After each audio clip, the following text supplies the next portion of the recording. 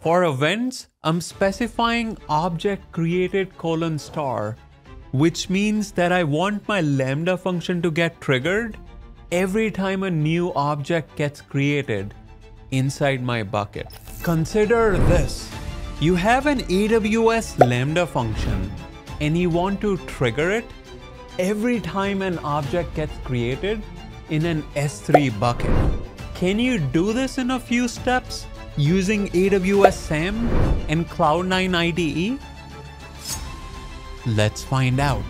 Let's start by navigating to the Cloud9 service, click on Create Environment, and give it a name.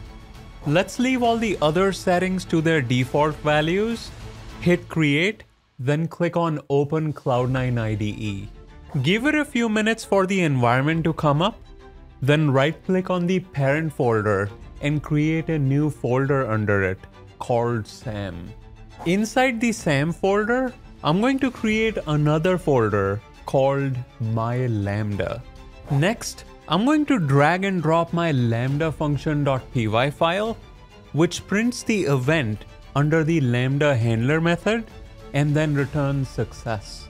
Let's save this file under the my lambda folder, then bring in our dependency file called requirements.txt.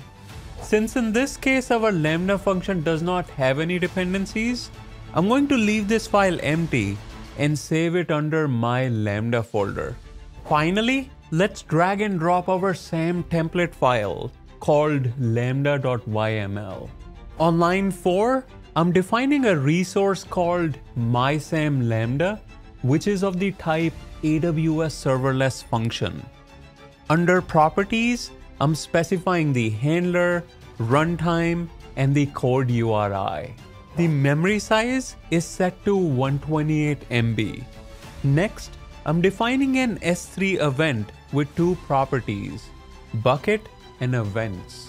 For bucket, I'm referring to the images bucket, which is defined later on line 18, and it has a bucket name of gokcedb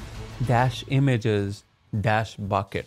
For events, I'm specifying object created colon star, which means that I want my lambda function to get triggered every time a new object gets created inside my bucket. Let's save this template file under the SAM folder, then navigate to the bash terminal window. Start by typing the cd or the change directory command to go inside the SAM folder then run the ls or list command to confirm that you see the my lambda folder and a lambda.yml file.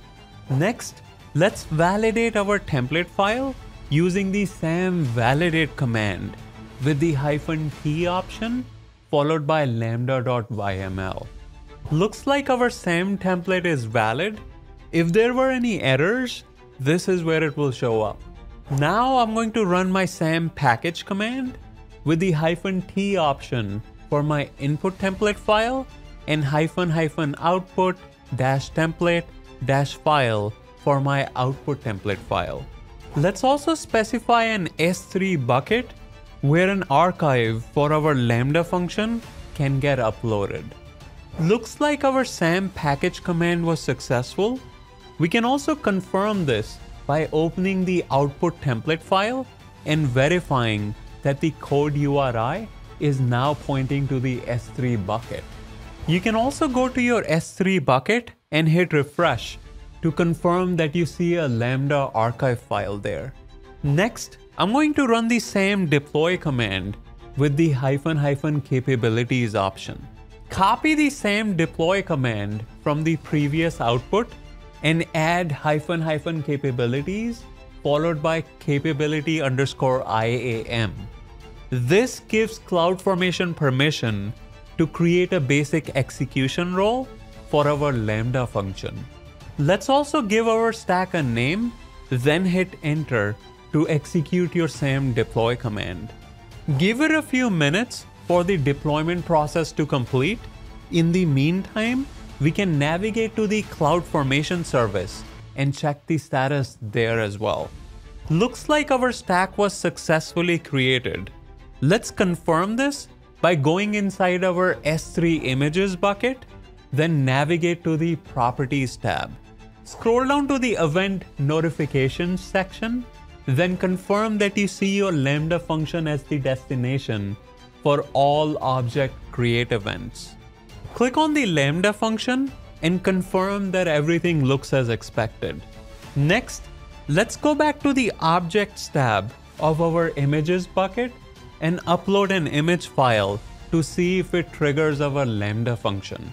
Let's upload this image.jpg file, then navigate back to the Lambda window. Head to the Monitor tab, click on View CloudWatch Logs, then go inside the latest log stream. Confirm that you see your event printed in the log stream with both bucket and object information. Finally, if you wanted to delete your stack, head back to the CloudFormation tab, then click on Delete to delete both the stack and all its resources. There you have it. But before you go, here's a question for you. Why did the Amazon S3 bucket become a detective?